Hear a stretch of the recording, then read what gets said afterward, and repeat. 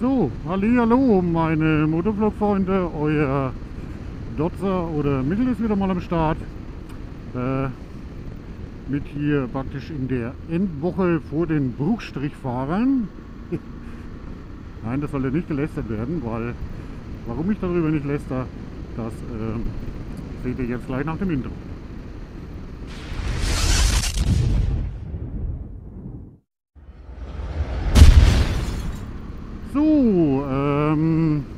Warum ich nicht lästern will oder werde oder möchte, ähm, ist ja natürlich unter den einschlägigen Bikern. Ich meine, ich habe es wieder gesehen auf der Messe. Ähm, da sind die richtigen Biker gekommen und äh, der kleine Mikkel mit seinem zukünftigen Schwiegersohn, ich hoffe, hi Tobi, ähm, die haben dem Wetter und Wind getrotzt, ja, und äh, sind hier mit dem Moped angekommen und die anderen neben dem Pampersbomber. Sei dahingestellt, ob es vernünftig war oder nicht vernünftig war, egal. Ähm, ja, warum lästere ich nicht darüber?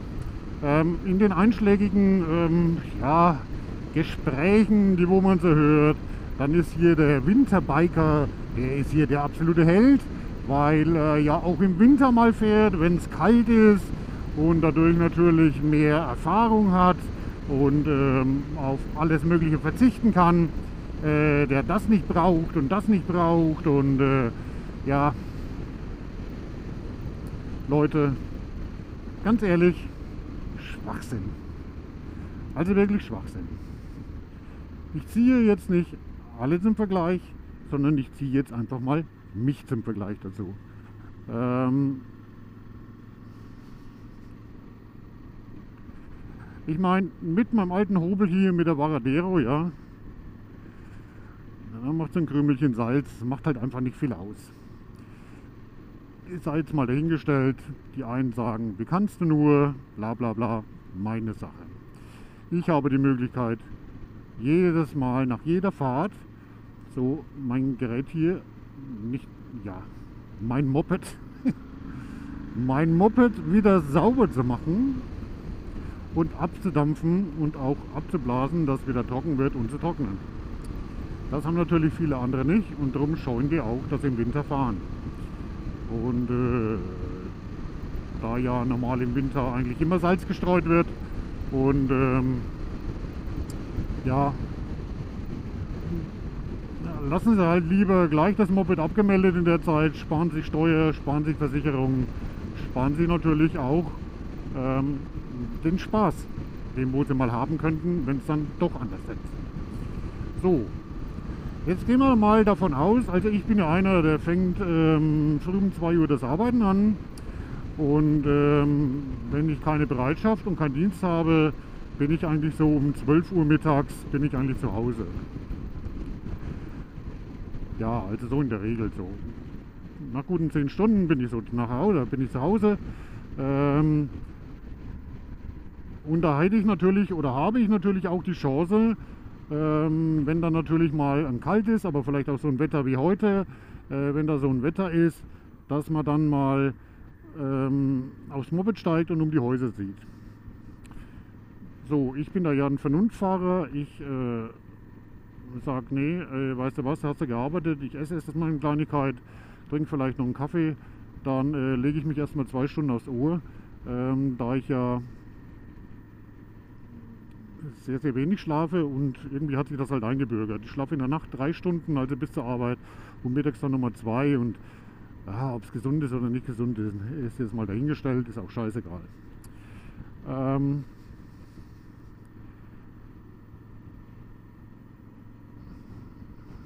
Irgendwie passt mir das nicht, dass der da vorne dran ist. Ja gut. Das finden wir doch wieder mal anständig. Das hat er gehört. Ne? Fein. Und jedes Mal denke ich hier in der Kurve, wenn ich da fahre und er stellt seinen Sattel da in der Kurve ab, der steht mitten in der Kurve. Jedes Mal denke ich daran. Eigentlich müsste ich es langsam wissen.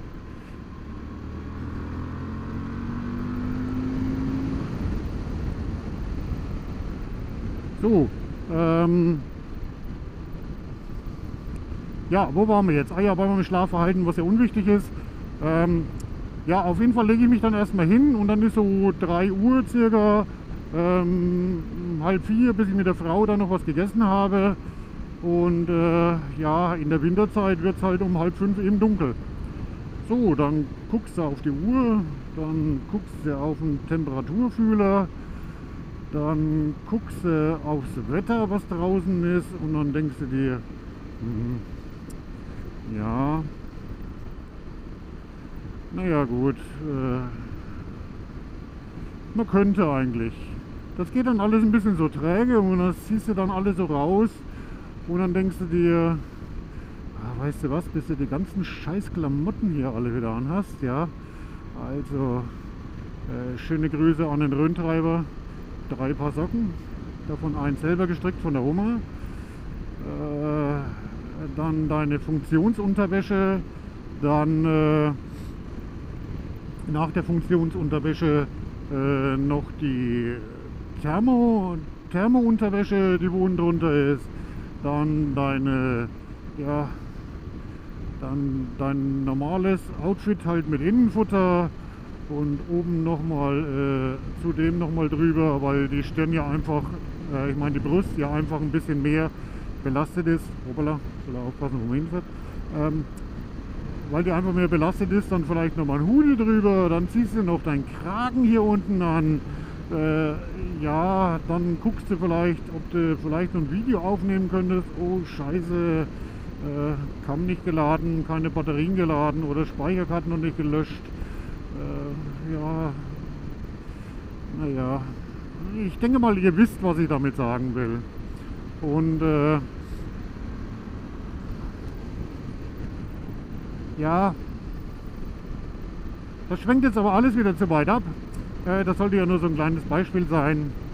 Ähm, also im Endeffekt fährst du gar nicht so oft im Winter. Mein einer, wo es beruflich braucht. Schönen Gruß an Akkuzige, den Kanal verlinke ich mal da oben. Ähm, die fährt jeden Tag mit dem Moped. Die hat sich jetzt extra nochmal so ein kleines Stadtmoped gekauft. Ähm, gut ab, wirklich vor dem Mädchen in einem Jahrgang. ähm, ja, die, die, die es brauchen, die wo jeden Tag damit fahren, also das ist natürlich eine andere Sache, weil sie vielleicht kein Auto haben oder keine andere Möglichkeit haben oder oder äh, weil in der Familie vielleicht auch ein Auto ist und der andere Teil braucht eins, bla bla bla bla bla bla bla bla. Äh, ja, das kennen wir ja alle schon und auf jeden Fall ganz ehrlich, wenn ich so dieses Jahr so hochrechne, die Möglichkeit zu fahren und die Lust, naja gut, die Lust darf man vielleicht nicht dazu rechnen, aber Lust hatte ich eigentlich mehr, aber naja, die Möglichkeit zu fahren, äh, die war dieses Jahr wirklich sehr, sehr, sehr bescheiden. Es war sehr, sehr feucht, es war oft kaltfeucht ähm, natürlich dann nur auf irgendeiner freien Fläche geradeaus zu fahren, das macht dann natürlich auch keinen großen Spaß. Ähm, das hat mich ja bei meinem Hasi-Video schon ein bisschen äh, behindert. Gut, da kam noch der PC und äh, die kam mir dazu, aber egal. Äh, nicht, dass ihr denkt, ihr hört jetzt den Lactobeiß-Kanal oder so. Ne? Äh, hoffe, man kann es nur trennen. Naja, auf jeden Fall ähm, jetzt nochmal, um zur Geschichte zurückzukommen, da ist dann natürlich, äh, es wird immer gesagt, ja, der Biker, der wo im Winter fährt, der hat die äh, wesentlich mehr Erfahrung und ähm, der kommt auch wesentlich weiter und äh, der braucht auch keine, ähm, ja, kein Fahrsicherheitstraining, weil er immer da mit in dem Fahren mit drin ist und äh, ja, nee Leute, ist ähm, Blödsinn. Also Ich meine ganz ehrlich, dass ähm, die Winterfahrer genauso gut oder genauso schlecht sind wie die Sommerfahrer. Die Sommerfahrer vielleicht ähm, ja nicht nur rein technisch, sondern auch äh, sagen wir, gesundheitlich äh, die vernünftigeren sind und ähm, ja ja, doch, sind, sind sie einfach. Also es lässt sich irgendwie gar nicht anders erklären. Ähm, die. Jetzt habe ich hier irgendwo einen Faden verloren. Mal gucken, ob der hier irgendwo irgendwo hier einen Faden liegt. Nee. Hier liegt kein Faden. Na gut, auf jeden Fall ähm, sollte sich der Bruchstrichfahrer, ich meine, das ist schon mal eh schon ein böses Wort irgendwie, ähm, sollte sich der Bruchstrichfahrer ähm, einfach an äh, ein paar kleine Kriterien halten, wie ähm, wenn du dein Moped, wenn du da das erste Mal wieder draufsteigst, jetzt meinetwegen am 1.3. oder am 1.4., je nachdem, äh, was für Saisonkennzeichen ihr habt, äh, dann macht ein bisschen langsam, tastet euch einfach wieder ran, tastet euch einfach an das Gefühl wieder ran. Und äh, wenn ihr eine Möglichkeit habt, vielleicht ein Fahrsicherheitstraining zu machen, dann macht das. Es schadet nichts. Ähm, es ist immer Spaß und Gaudi da irgendwie dabei.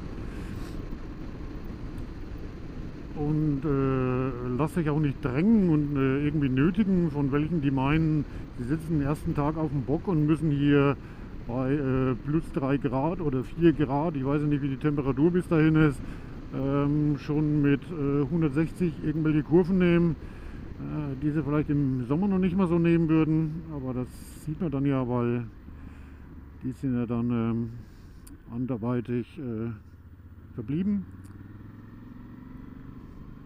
Naja, auf jeden Fall, wenn ihr euch an die paar Punkte da haltet, dass ihr einfach äh, ride, euch an Ride Safe und an Fahren mit Hirn äh, dran, ähm, ja, daran erinnert, dass man einfach ein bisschen vorsichtiger ist und dass man äh,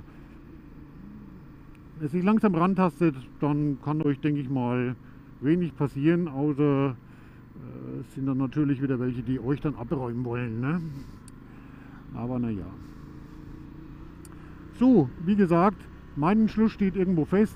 Berufsstrichfahrer sind nicht die ähm, schlechteren Fahrer, da ähm, die Ganzjahresfahrer kannst du ja auch nicht sagen, weil eigentlich ist das Moped ja nur äh, das ganze Jahr angemeldet. Und ähm, oh, hier ist noch feucht. Wir müssen aufpassen.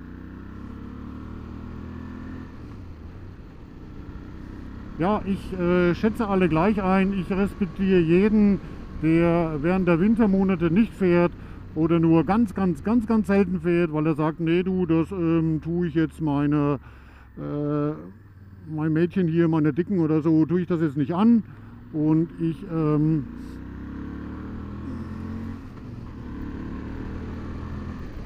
ich möchte lieber ähm, im Frühjahr erst fahren, wenn die Temperaturen dann besser sind. Bleibt bei eurer Meinung, bleibt bei dem Ding. Die anderen, die wo sich aufregen, das ist alles nur so Machtgepose. Ähm, ja, das war es eigentlich schon so, ähm, was ich dazu sagen wollte. Wahrscheinlich ein bisschen ausführlicher und wie immer mal ein bisschen katastrophal durcheinander. Aber naja. Ähm, bleibt sauber, passt auf. Ich wünsche euch einen super guten neuen Start, ihr Bruchstrichfahrer. Nochmal betont, ähm, lasst euch nicht voll quatschen, macht euer Ding. Ride Safe. Die Gummis immer unten, das Metall immer oben und dann klappt das. Ähm, schaltet einfach ein bisschen das Ding da oben ein, die Murmel oder das, was unter der Murmel da ist und äh, dann kommt ihr auch gut durch. Man sieht sich, äh, man hört sich, vielleicht trifft man sich. Ciao, ciao. Bis die Tage. Oder wie ich ja jetzt immer sage, ciao mit Au und schön mit Ö. Euer Michel oder Dotzer. Ciao, ciao.